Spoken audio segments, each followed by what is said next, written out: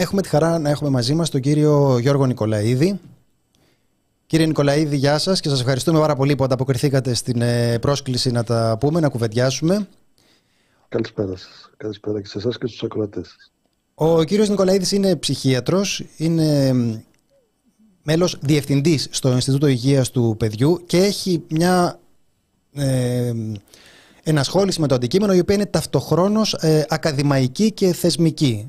Και νομίζω ότι από αυτήν την άποψη είναι ένας άνθρωπος που έχει πολύ ενδιαφέρον για να συζητήσουμε μαζί του για τα ζητήματα της ε, ανήλικης παραβατικότητας, της παραβατικότητας των, ε, των ανηλίκων. Έχω την εντύπωση ότι είναι από τις μέρες που κάθε φορά που συμβαίνει κάτι και μονοπολεί το ενδιαφέρον των μέσων ενημέρωσης, είστε κι εσείς ε, συνεχώς ε, σε κάποιο κανάλι και συζητάτε αυτά τα θέματα, αν δεν κάνω λάθος. Έτσι δεν είναι; Ε, ναι, αυτές τις μέρες ε, είμαστε, είναι το θέμα μας πολύ στην επικαιρότητα. Ή τουλάχιστον έτσι ε, μοιάζει γιατί στα αλήθεια θέματα παραβιάσεων των δικαιωμάτων του παιδιού υπάρχουν όλο το χρόνο, απλώς γίνονται θέμα συγκεκριμένες μέρες συνήθως.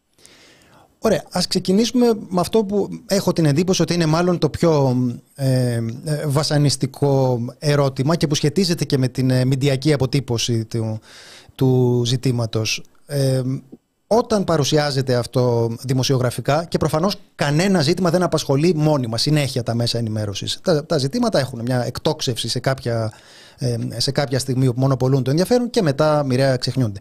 Έχουμε αύξηση της ε, βίαιης εγκληματικότητας στις, στην εφηβική ηλικία ή όχι; Χαίρομαι πάρα πολύ που το ρωτάτε, γιατί το πρώτο πράγμα που πρέπει να δούμε είναι όσο πιο ψύχραμα μπορούμε τα αντικειμενικά στοιχεία. Γιατί όντως ε, η παρουσίαση από πολλά μέσα μαζικής ενημέρωσης είναι τέτοια που αν την ακούσει κανείς μπορεί να πιστεί ότι ξαφνικά ζούμε μια έκρηξη περιστατικών βίης ε, επιθετικότητας και παραβατικότητας. Από τα επίσημα στοιχεία τέτοιο πράγμα δεν προκύπτει πάντως.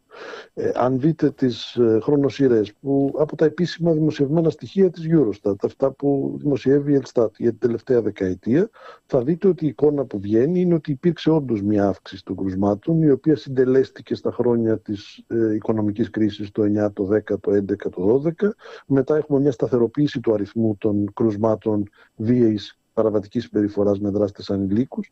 Αμέσως μετά υπάρχει μια πτώση μικρή αρχικά και πάρα πολύ μεγάλη τα χρόνια του 20 και του 21 λόγω του ότι λόγω καραντίνας δεν υπήρχε mm. Ήταν σπίτια τους οπότε δεν μπορούσαν. Στην, στην, και οπότε όλα τα εγκλήματα γενικά πέσανε τότε ε, αυτά που διεξάγονται στον δημόσιο χώρο και το 22-23 αρχίζει μάλλον μια ανάκαμψη στα επίπεδα τα προηγούμενα της καραντίνας χωρίς να ξεπερνάει τα επίπεδα του 18 και του 19. Οπότε θέλω να πω ότι ποσοτικά δεν φαίνεται να υπάρχει μια τέτοια διαφοροποίηση. Η ίδια εικόνα ε, βλέπουμε και από την πιο συστηματική μέτρηση του φαινομένου στην Ελλάδα, την οποία την κάνει το Ερευνητικό Πανεπιστημιακό Ινστιτούτο Ψυχικής Υγείας του Πανεπιστημίου Αθηνών από το 1998 μέχρι τα σήμερα, σε δείγματα τυχαία επιλεγμένα μαθητών τα οποία μιλάνε και γράφουν τις εμπειρίες τους ε, για εμπλοκή τους σε βία συμβάντα μέσα από ανώνυμα ερωτηματολόγια με βάση την πρώτη μεθοδολογία του Παγκόσμιου Οργανισμού Υγείας. Αν δείτε αυτές τις σειρές που τις έχει δημοσιεύσει το ΕΠΙΨΗ, αυτό που φαίνεται. Είχαμε δείξει χθες μια τέτοια σχετική κάρτα. Είναι ναι. ίδιο. Αύξηση στα χρόνια της οικονομικής κρίσης και μετά σταθεροποίηση και μείωση. Οπότε θέλω να πω ότι αντικειμενικά ποσοτικά το φαινόμενο δεν έχει τέτοια έκρηξη όπως εμφανίζεται στα μέσα. Και αυτό από μόνο του δημιουργεί κάποιες απορίες. Γιατί επιμένουμε να προβάλλουμε μια εικόνα ότι ξαφνικά τα παιδιά μας έχουν γίνει τόσο άγρια, τόσο επιθετικά, τόσο επικίνδυνα. Σαν να θέλουμε να στήσουμε απέναντι στην κοινωνία έναν φανταστικό εχθρό που είναι τα παιδιά μας. Επειδή νομίζω ότι εδώ πέρα αρχίζει να υπονοείται λίγο μια απάντηση στο ερώτημα γιατί το κάνουμε αυτό. Ε, φαντάζομαι ότι ακούσατε τις εξαγγελίες του Πρωθυπουργού για το τι θα έπρεπε να, να κάνουμε για το συγκεκριμένο ζήτημα. Με το νομικό πλαίσιο, με τους ε, γονείς, με το panic button που δεν λέγεται panic button αλλά safe youth, youth. Με αυστηροποίηση ποινών. Οπότε, ε, αν συνδυάσουμε τον, ε, την παρουσίαση του ζητήματος από τα μέσα ενημέρωσης, την οποία αν έχω καταλάβει καλά, εσείς θεωρείται ε, υπερβολική, δρα, δραματοποιημένη. Που υπάρχουν. Σύμφωνοι, σύμφωνοι. Εντάξει, εντάξει, εντάξει. Δηλαδή, κάπου πρέπει να αρχίσουμε να σεβόμαστε και την αντικειμενική πραγματικότητα. Έτσι, κάπου να σεβόμαστε την πραγματικότητα. Αυτή, στην κατηγορία καλές απόψεις. Να σεβόμαστε και την πραγματικότητα. Ωραία. Οπότε, ε, θα λέγατε ότι αν το συνδυάσουμε με τον τρόπο με τον οποίο η πολιτεία προτείνει λύσεις ε, προκύπτει μια τέτοια εικόνα. Δηλαδή ότι, ότι υπάρχει μια καλλιέργεια φόβου και ταυτοχρόνως ε, μια καθησυχαστική ε, ε, έτσι, παρέμβαση του, του Πρωθυπουργού προκειμένου να προτείνει σκλήρινση έτσι περαιτέρω του, του ποινικού πλαισίου. Είναι, είναι δίκαιη αυτή η εικόνα ή όχι; Κοιτάξτε, ε, κατά πρώτον, ε, κανείς, αν θέλει να είναι υπεύθυνος απέναντι στην όποια κριτική απέναντι στα μέτρα, πρέπει να τα δει πρώτα, γιατί ξέρετε, σε επίπεδο εξαγγελιών από τις πολιτικές ηγεσίες λέγονται γενικές κατευθύνσεις. Τα μέτρα θα τα δούμε τις επόμενες μέρες, εβδομάδες, λογικά συγκεκριμενοποιημένα, οπότε θα μπορούμε να αφρώσουμε και μια πιο ε, συστηματική και υπεύθυνη κριτική όπου χρειάζεται ή οτιδήποτε, αν είναι θετικό βεβαίως, να ε, προωθηθεί και να ενισχυθεί. Ε, αυτό που όμως λέτε είναι αλήθεια ότι ζωγραφίζοντας μια εικόνα η οποία είναι διαστρεβλωμένη σε σχέση με τα ποσοτικά δεδομένα, ότι ξαφνικά ζούμε μια έκρηξη παραβατικότητας και κάτι πρέπει να γίνει, προφανώς αυτό ενέχει τον κίνδυνο να οδηγήσουμε την κοινωνία σε έναν ηθικό πανικό. Και μέσα από τη συγκινησιακή φόρτιση αυτού του πανικού, ότι απειλούμαστε από την αγριότητα των παιδιών, να οδηγηθούμε σε εσφαλμένες αποφάσεις για τα μέτρα που θα αντιμετωπίσουν αυτό το υποτιθέμενο τεράστιο πρόβλημα. Έτσι. Αυτό είναι κάτι που έχει γίνει στο εξωτερικό σε κάποιες κοινωνίες και έχει αποδειχθεί ολέθριο. Για, πείτε μας πιο συγκεκριμένα. Όχι, όχι μόνο αυτού του είδους το πακέτο ηθικός πανικός, φόβος της κοινωνίας ότι το διπλανό παιδί είναι κίνδυνος για το δικό μου και ως απάντηση σε αυτό μέτρα καταστολής και επιτήρησης και επένδυση σε τεχνολογίες ασφάλειας και επιτήρησης έχει επιλεχθεί στις ΗΠΑ για παράδειγμα εδώ και δεκαετίες με όχι μόνο μηδενικό αποτέλεσμα, αρνητικό αποτέλεσμα. γιατί, γιατί; όπως ξέρουμε ο φοβισμένος επιτίθεται. Όταν ξαφνικά το παιδί φοβάται το διπλανό παιδί ότι είναι δυνητικά απειλή και κίνδυνος για εκείνο, όταν ο γονιός βλέπει το παιδί του άλλου γονιός δυνητικά απειλή και κίνδυνο, το πιθανότερο είναι ότι αυτό θα παράξει περισσότερη επιθετικότητα, περισσότερη βία. Και αυτό που γίνεται σε εκείνες τις περιπτώσεις των κοινωνιών που κάνουν αυτό το λάθος είναι ότι επενδύουμε αρχικά σε τεχνολογίες τέτοιες, καταστολή, αυστηροποίηση, ε, ε, επιτήρηση. Αυτό όχι μόνο δεν βελτιώνει τα πράγματα, αλλά τα χειροτερεύει. Στο χειρότερο πράγμα απαντάμε με ακόμα μεγαλύτερη επένδυση στην καταστολή, στην αυστηρότητα και στην επιτήρηση. Αυτό κάνει ακόμα χειρότερα τα πράγματα και έτσι παγιδευόμαστε σε ένα αρνητικό σπιράλ που, για παράδειγμα, στις Ηνωμένες Πολιτείες της Αμερικής τους έχει οδηγήσει να είναι με μεγάλη διαφορά πολύ χειρότεροι από όλες τις άλλες χώρες του ΟΣΑ όσον αφορά τα κρούσματα της ανήλικης παραβατικότητας παρά την πρωτοφανή επένδυσή τους σε τεχνολογίες ασφάλειας. Δεν είναι εκεί η λύση. Ποια θα ήταν η καλύτερη... κάτι ακόμα ναι, ναι. πριν από αυτό. Στην Ελλάδα το πλαίσιο είναι αρκούντος αυστηρό ήδη. Δηλαδή είναι και ψέμα αυτό που λέγεται ότι στην Ελλάδα δεν υπάρχει επαρκώς αυστηρό πλαίσιο και για τον ανήλικο παραβάτη και για τις ευθύνες του γονιού και για την ε, υπευθυνότητά του την νομική. Δεν είναι αλήθεια αυτό. Ε, εκτός και αν μιλάμε για τα χρόνια φυλακή, λες και είναι καραμέλες. Ότι, ξέρω εγώ, δύο χρόνια φυλακή που μπορεί να ε, φάει ένας γονιός επειδή το παιδί του κάνει μια βίαιη πράξη ε, είναι χωρίς σημασία. Δεν ξέρω, αυτά τα λένε με ευκολία κάποιοι άνθρωποι που μάλλον δεν έχουν περάσει απ' έξω από φυλακή ποτέ. Έτσι. Ε, θα, πριν, πριν, πριν να μας απαντήσεις στο, ε, στο ερώτημα τι θα, τι θα έπρεπε να γίνει, να ρωτήσω αυτό που περιγράφεται τώρα για τις ΗΠΑ έχει γίνει και έχουμε αρκετή χρονική απόσταση ώστε να έχουν μελετηθεί ήδη, αναλυθεί και δημοσιευτεί τα, τα πορίσματα από τις... αυτή η πολιτική και, και, και είναι στα αλήθεια μια παγίδα της κοινωνικής πολιτικής. Γιατί όταν κάνεις αυτή την επιλογή, μετά προσπαθείς να διορθώσεις τα πράγματα κάνοντας τα ακόμα χειρότερα και εκεί παγιδεύεσαι και σε ρουφάει ένα αρνητικό σπιράλ. Ωραία, πάμε στο ερώτημα του Θάνου. Ναι, ναι, ναι. Ποια θα ήταν. Όχι τα... και, και, να, να σας πω και κάτι πριν από αυτό, αν μου επιτρέπετε και mm-hmm, ένα Δηλαδή, όταν συζητιόνται τέτοια μέτρα, γιατί σας λέω, θα δούμε συγκεκριμένα ποια θα είναι τα μέτρα, αλλά όταν συζητάμε μέτρα του τύπου να ξαναφέρουμε τα αναμορφωτήρια και το θεσμό των παιδονόμων, να κατεβάσουμε τα όρια που βάζουμε τα παιδιά φυλακή από τα 15 στα 14, όπως αν θυμάστε πριν ένα χρόνο υπήρχε η συζήτηση ε, να κατέβει το όλιο της ηλικιακής ναι. Ε, νομικής υπετιότητας των ανηλίκων από τα 12 χρόνια στα 10. Δηλαδή να βάζουμε φυλακή 10 χρόνια και 10 χρόνια παιδιά. Πείτε μου τώρα, πέρα από τη ρήμη του λόγου και το πώς παρασύρεται θυμικά κάποιος να λέει ναι να τους βάλουν φυλακή ή οτιδήποτε. Στα αλήθεια πιστεύουμε ότι βάζοντας ένα παιδί 11, 13 ή 14 χρονών σε ένα κατάστημα το οποίο στα αλήθεια θα είναι σαν φυλακή, πιστεύουμε ότι αυτό θα μειώσει τη βία και την επιθετικότητα στα σχολεία και στις γειτονιές; Να πάρουμε Αλήθεια. παιδάκια της Πέμπτης Δημοτικού Αλήθεια. δηλαδή και να τα χώσουμε δηλαδή, στο. Ναι. Συγγνώμη δηλαδή, ε, το ότι τα, αυτά τα καταστήματα είναι πανεπιστήμια του εγκλήματος είναι κάτι που δεν έχει περάσει ποτέ από τα αυτιά μας. Ότι αυτά τα παιδιά στα αλήθεια θα κλειδώσει η ζωή τους μέσα στο ποινικό έγκλημα δεν μας περνάει από το μυαλό. Δεν μας περνάει από το μυαλό ότι με αυτόν τον τρόπο απλώς θα παραχθεί μια γενιά ανθρώπων που βγαίνοντας από εκεί θα στελεχώσει το ποινικό έγκλημα τις επόμενες δεκαετίες. Ναι. Δεν καταλαβαίνουμε ότι θα τα κάνουμε χειρότερα. Να Δηλαδή. βάλουμε και στην εξίσωση το πόσο λίγο ενδιαφέρεται το σοφρονιστικό μας σύστημα για το σοφρονισμό και, τα, και την Μα- ένταξη μα των τώρα κρατουμένων, που μιλάμε είναι για ήδη πάρα παιδιά. πολύ προβληματικό. Οπότε το φαντάζει αυτό και σε ανήλικους. Γιατί σε αυτή την οπτική που εγώ τουλάχιστον ενστερνίζομαι και ένα παιδί που παραβατεί, που ασκεί βία, ακόμα και πολύ δεχτεί, ε, αυτό το παιδί είναι ένα παιδί θύμα παραλήψεων και πράξεων κάποιων ενηλίκων που δεν το φροντίσαμε αρκετά. Που δεν του δώσαμε ακόμα και εναλλακτικές διεξόδους για το θυμό του. Μας γράφει εδώ πέρα ο Δημήτρης, κυριολεκτικά κλείνουμε σχολεία και ανοίγουμε φυλακές. Είναι δηλαδή, δεν καταλαβαίνω αυτή την, Συγχωνεύσεις. ποιοι εισηγούνται αυτά τα μέτρα ας πούμε, στην κυβέρνηση, γιατί σας ξαναλέω, και σε όλα τα μεγάλα θεσμικά κόμματα υπάρχουν και κέντρα και κέντρα που προωθούν την ατζέντα τους. Ας πούμε, και αναφέρομαι και στην συζήτηση τότε που είχε γίνει πριν ένα χρόνο για, τε- για τον ποινικό κώδικα.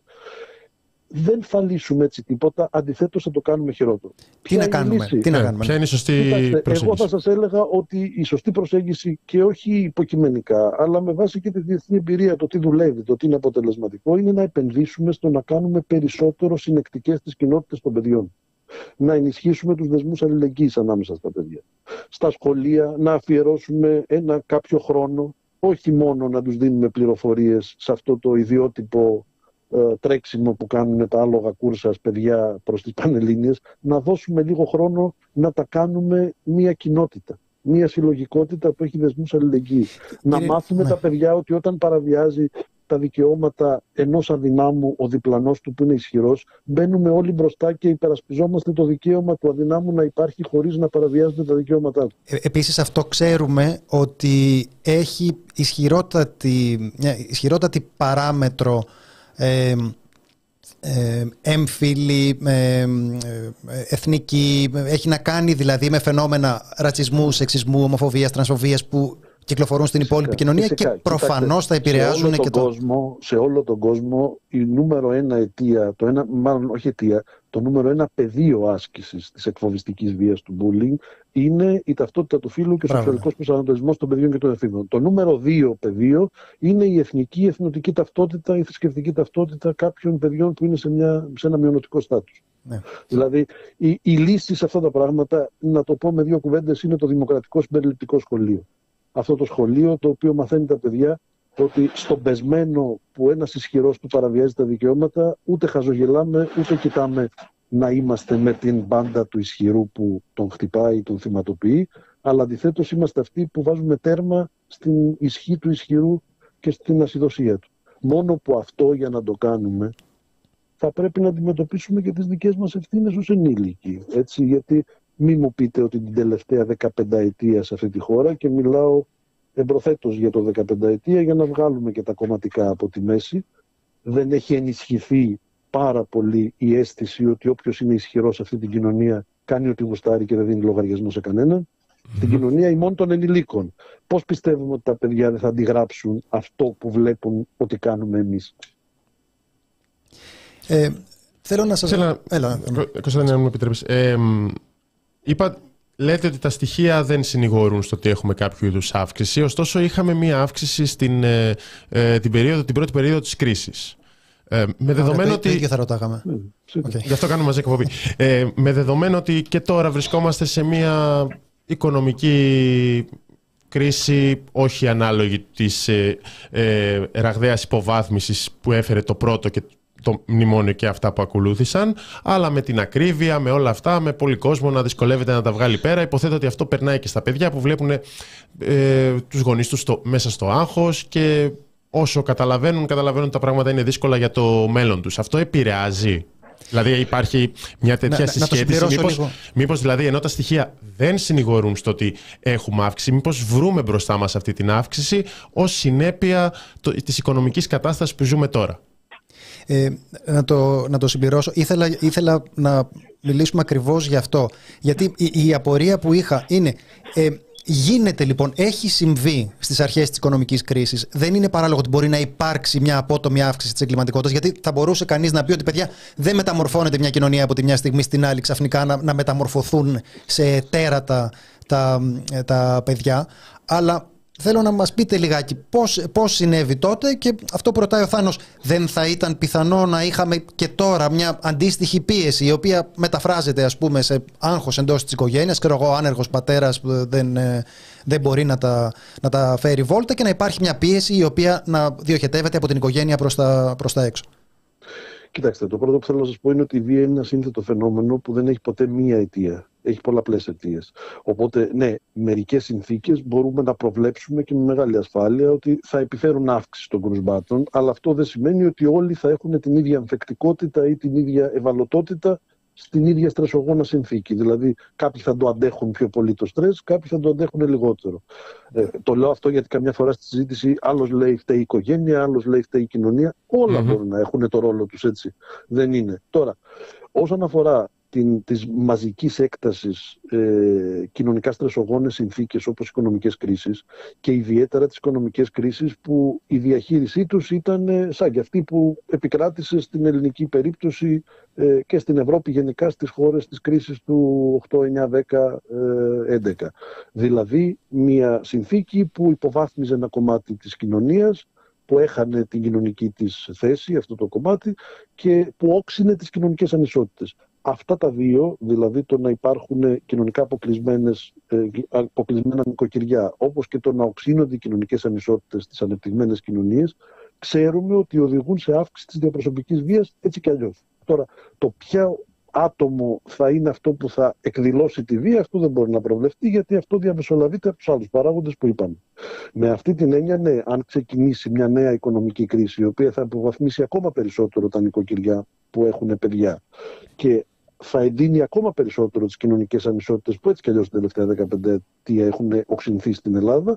Προφανώς, ό,τι και να κάνουμε, θα έχουμε αύξηση των κρουσμάτων. Σε αυτό όμως, θέλω να σας πω ότι υπάρχει ένα ενδιαφέρον δεδομένο ε, νομίζω ήταν το 16, το 17 θα σας γελάσω που η Βρετανική Ιατρική Επιθεώρηση Lancet δημοσίευσε μία μελέτη μιας αγγλικής ομάδας κοινωνικών επιδημιολόγων για τις επιπτώσεις της οικονομικής κρίσης στις χώρες που τότε είχαν περισσότερο πληγή, δηλαδή την Ελλάδα, την Ιταλία, την Ισπανία, την Πορτογαλία, την Ιρλανδία και την Ισλανδία. Από την οποία ξεκίνησε πρώτα η κρίση.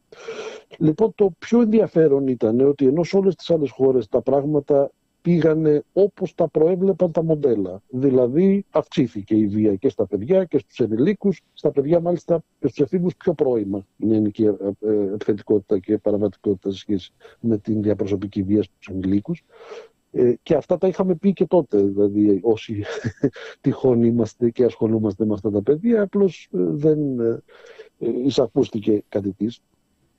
Η μόνη χώρα στην οποία τα πράγματα πήγαν ανάποδα ήταν η Ισλανδία που ήταν η πρώτη χώρα στην οποία ξεκίνησε η οικονομική κρίση.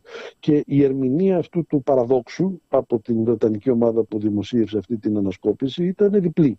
Η πρώτη ήταν ότι εξ αρχής με το που άρχισε η κρίση επειδή προέβλεπαν ότι αυτή θα επιδεινώσει πάρα πολύ τους δείκτες κοινωνικής συνοχής των παιδιών, των εφήβων και της νεότητας, θα αυξηθούν η χρήση ουσιών, η κατάχρηση αλκοόλ, η παραβατικότητα, η σχολική διαρροή, όλα τα πράγματα, φαινόμενα που σχετίζονται με την ευεξία της νεότητας. Γι' αυτό ενίσχυσαν πάρα πολύ, παρά την κρίση, παρά τη δημοσιονομική στενότητα, όλες τις υπηρεσίες ψυχοκοινωνικής μέρημνας που είχαν αντικείμενο τη στήριξη της νεότητας και της παιδικής Γιατί, μάλιστα, καλέσανε Φιλανδούς ειδικούς που είχαν περάσει το 1992 μια ανάλογη οικονομική κρίση στη Φιλανδία και να τους πούνε πώς ακριβώς να το κάνουν. Και εκεί που είχαν δύο ψυχολόγους στα σχολεία, βάλανε πέντε. Να το πω. Εκεί που είχαν τρεις κοινωνικούς λειτουργούς, βάλανε οχτώ θα μου πείτε είναι ποσοτικό, δεν είναι ποσοτικό μόνο, αλλά θέλει να δείξει μια κατεύθυνση αυτό το πράγμα. Αντιθέτως, στις μεσογειακές χώρες, αυτό που επικράτησε δυστυχώς και στην Ελλάδα ήταν ότι εκείνα τα χρόνια απαρφανίστηκαν οι υπηρεσίες ψυχοκοινωνικής μέρημνας για παιδιά και εφήβους. Οπότε αυτό είχε ένα θετικό impact, μια θετική επίπτωση στο να ανασχέσει κάπως αυτό που ερχόταν. Το δεύτερο που σημειώνανε οι Βρετανοί αυτοί οι ερευνητές είναι ότι επειδή η Ισλανδία ήταν μια μικρή χώρα και ένα μεγάλο κομμάτι του πληθυσμού έλαβε ενεργό μέρος στις πολιτικές αποφάσεις για το πού πήγε το πράγμα και είχαν αυτή τη sui generis διαχείριση των πραγμάτων, βάλανε τους πολιτικούς τους στη φυλακή, αφήσαν τις τράπεζες να χαροκοπήσουν και όλα αυτά. Αυτό λέγανε εκεί οι Βρετανοί μελετητές ότι δημιούργησε σε ένα κομμάτι της κοινωνίας την αίσθηση ότι έχω τον έλεγχο της ζωής μου. Γιατί ένα πράγμα που είναι ενδιάμεσος μεσολαβητής ανάμεσα στην οικονομική κρίση και την εκδήλωση ψυχοπαθολογικών συμπεριφορών όπως η διαπροσωπική βία είναι η αίσθηση ότι δεν ελέγχω πια τη ζωή μου. Δεν ξέρω αν θα έπρεπε να ε, νιώθουμε μεγαλύτερη ενθάρρυνση με αυτά που λέτε. Νομίζω ότι αυξάνεται η απελπισία στη δική μου περίπτωση, γιατί ακριβώς ε, αντιλαμβάνεται κανείς την πολλαπλή βαρύτητα, τις πολλαπλές ε, συνέπειες της πολιτικής που ακολουθούνται. Δηλαδή τον τρόπο με τον οποίο είναι μια χιονοστιβάδα από αρνητικές συνέπειες που δεν εξαντλούνται στην, ε, ε στην οικονομία. Ήθελα να σας... Ε, θέλετε κάτι να προσθέσετε σε αυτό; Θέλω, θέλω να πω ότι δεν υπάρχει τρόπος να μπορέσουμε να επηρεάσουμε τη συμπεριφορά των παιδιών όταν η συμπεριφορά της κοινωνίας των ενηλίκων παραμένει άνηση, εκφοβιστική, πώς το πω, αυτή που δεν ελέγχει τον ισχυρό για το αν κάνει, παραβιάζει τα δικαιώματα των ανίσχυρων. Όταν συνεχίζεται αυτό, θα έχουμε παιδιά που θα μιμούνται αυτού του είδους τις συμπεριφορές. Και αν αναλογιστείτε, τα περισσότερα κρούσματα που είδαν το φως της δημοσιότητας και αυτές τις μέρες είχαν αυτό το κοινό χαρακτηριστικό. Δείχνω στην κοινότητα πόσο μάγκας είμαι και πόσο δεν δίνω λογαριασμό σε κανέναν. Τηρουμένο των αναλογιών μοιάζει λιγάκι με την ε, παρατήρηση του Χορκάιμερ για τον, ε, για τον φασισμό, που λέει δεν μπορούμε να μιλήσουμε για τον φασισμό χωρίς να μιλήσουμε για τον καπιταλισμό, γιατί απλώς η ιδέα του δικαίου του ισχυροτέρου πριν να τη διδάξουν ε, στα κρεματόρια είχε διδαχθεί στην, στην οικονομία της αγοράς. Θέλω να σας ρωτήσω. Ε, να, να, μας πείτε και, να σας ζητήσω να μας πείτε και μια κουβέντα για το ρόλο που παίζουν τα social media γιατί και εκεί υπάρχει μια συζήτηση όπου έχει πολύ μεγάλη σημασία να μπορέσει κανείς να απομονώσει το αυθεντικά διαπιστωτικό κομμάτι που γίνεται με κάποια σοβαρότητα από τον, ε, από τον ηθικό πανικό. Οπότε ε, θέλω να μας πείτε, αν δεν κάνω λάθος, εκεί υπάρχουν ενδιαφέροντα ευρήματα και μιας διαφαινόμενης ε, αύξησης και μάλιστα μιας αύξησης η οποία δεν φαίνεται να επηρεάζεται από, την ε, κοινωνική, ε, από τη θέση στην κοινωνική ιεραρχία. Δηλαδή ότι εκεί έχουμε και στα υψηλά κοινωνικά στρώματα πολύ υψηλά επίπεδα, της, επίπεδα συμμετοχής σε διαδικτυακό εκφοβισμό. Κοιτάξτε, το μόνο κομμάτι του εκφοβισμού που σταθερά αυξάνεται, όπως σωστά το παρατηρείτε, είναι ο διαδικτυακός, ο ηλεκτρονικός εκφοβισμός, το cyberbullying. Αυτό βεβαίως σε ένα βαθμό απλώς αντανακλά την διαφορά των μέσων και όχι των πραγματικοτήτων. Δηλαδή εκεί που παλιότερα θα εκφοβίζαμε ασκώντας βία στη μέση του προαυλίου με φυσικό τρόπο, τώρα πια ασκούμε βία κάνοντας κάτι στο διαδίκτυο το οποίο εκφοβίζει, ντροπιάζει, εκθέτει, ε, πονάει τον άλλον με κάποιο τρόπο. Ή οτιδήποτε κάνουμε εκεί που θα το μάθαιναν αυτοί που παρίσταντο ή αυτοί που μετά θα το μάθαιναν στόμα με στόμα, τώρα είναι περίπου στάνταρ ότι θα το κινηματογραφήσουμε με ένα κινητό, θα το ανεβάσουμε στο TikTok για να το δουν πολύ περισσότεροι. Φυσικά η μαζικότητα της απεύθυνσης, το ότι κάτι εκφοβιστικό πια δεν το δείχνω μόνο στη γειτονιά, στο σχολείο, στην παρέα, σε ένα μικρό κύκλο, αλλά το δείχνω στο Πανελλήνιο, μέσω των εφαρμογών. Προφανώς αλλάζει και λίγο ποιοτικά τα πράγματα, κάνει πολύ πιο προκλητική για την νεολαία την άσκηση, ολοένα και πιο έντονης βίας. Μπαίνει σε ένα λίγο χρηματιστήριο ε, ένα κυνήγι για τα likes. Της γοητείας ναι. της βίας, ας πούμε. Όποιος θα δείξει ότι είναι ακόμα πιο βίος, ακόμα πιο αδίστακτος, ακόμα πιο ισχυρός για να εισπράξει το ενδιαφέρον εφόσον όλοι έχουμε λίγο πολύ εξαρτηθεί από το πόση ορατότητα και επιθυμητότητα κοινωνική έχουμε μέσα από αυτό το μηχανισμό. Αυτό όντως είναι μια ποιοτική διαφοροποίηση, αλλά θα μου επιτρέψετε να ξαναφέρω την κουβέντα στην ανάπτυξη της συλλογικότητας και της συλλογικής ταυτότητας και της αλληλεγγύης ανάμεσα στα παιδιά, στα οποία πράγματα και τα ίδια μέσα μπορούν να είναι χρήσιμα εργαλεία. Θέλω να πω, τα μέσα μπορούν να είναι εργαλεία για αυτά τα δεινά, μπορούν ταυτόχρονα να χρησιμεύσουν για να απλώσουν δίκτυα αλληλεγγύης και μιας άλλης νοοτροπίας ανάμεσα στα παιδιά, ανάμεσα στους εφήβους, ανάμεσα στις οικογένειες με παιδιά που δεν Δύο- θέλουν. Δύο να σημειώσεις, μεγαλώσουν τα παιδιά. ναι, ναι, ναι, δύο σημειώσεις, παύλα ερωτήσεις για αυτό που είπατε. Ε, για, τα, για το διαδι... ο διαδικτυακός εφοβι- εκφοβισμός δεν προστίθεται σε έναν φυσικό εκφοβισμό, δηλαδή στο προάβλιο μπορεί να είναι...